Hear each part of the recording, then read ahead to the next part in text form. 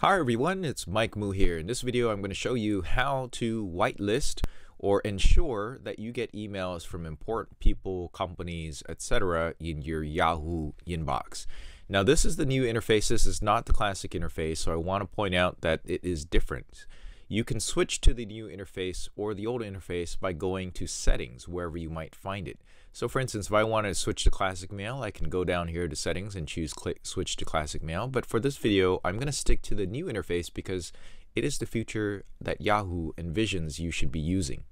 All right, so here we have the inbox. Uh, the easiest way to figure out whether or not there's a message that you someone said they sent you but you didn't get is to check in your spam bin right here on the left hand side. There'll be inbox, and red stars, drafts, sent, archive, spam, and trash. You can also find stuff in trash too. So when you want to ensure you get an email from a company. So for instance, um, Athentech, uh, Perfectly Clear is a company that I use to go ahead and automatically process my images.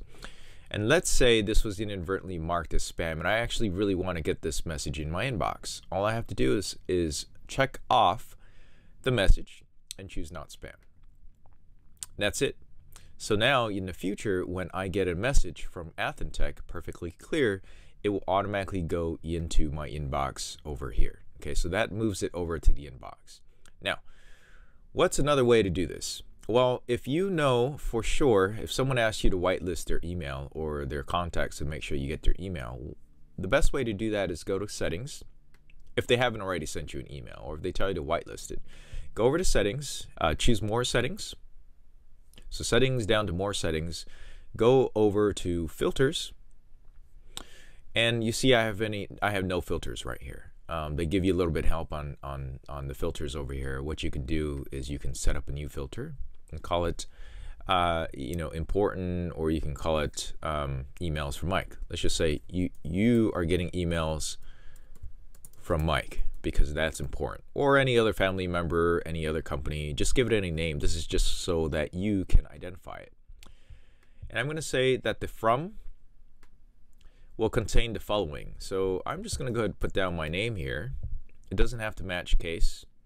And then any time that I get that, I can choose other filters in here to make sure that uh, that it contains information about this. But I'm just going to say that if it comes from me, Mike Mu, I'm going to have it moved over to the inbox right? Or I can have a new folder name where there are important emails that come in.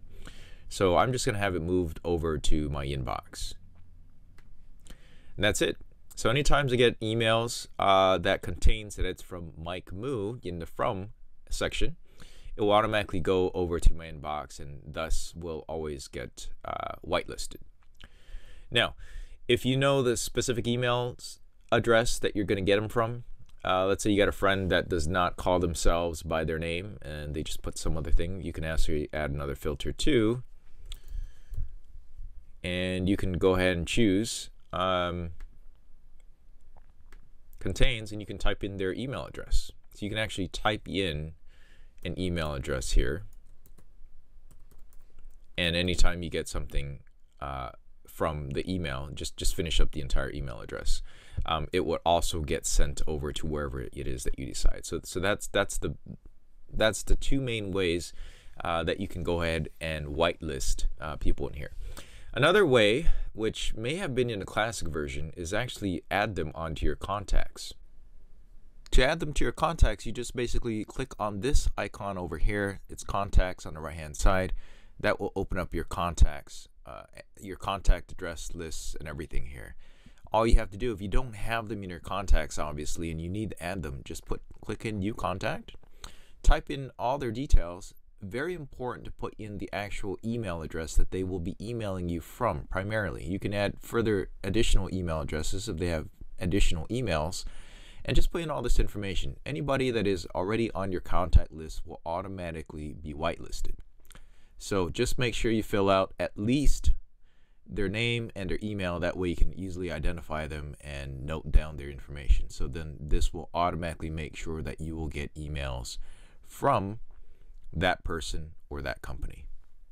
All right, that's it for this video. Uh, again, um, this is designed or this video I created because uh, I hear from family members, clients all the time. Hey, Mike, uh, I was expecting an email from you uh, or email from such and such, but I never got it. Where do I look to find it? Well, spam is one great way to look for it. You can go in there and do that search and type in the search for whoever you're looking for. And basically, you'll just want to whitelist them any number of the ways that I showed you on this video. All right, that's it for this video. Please like and subscribe. Uh, and um, if you didn't like this video, please at least comment down below. Let me know what you didn't like about it so then this way I can improve and make better videos for everyone. Thanks for watching. I will catch you in the next video.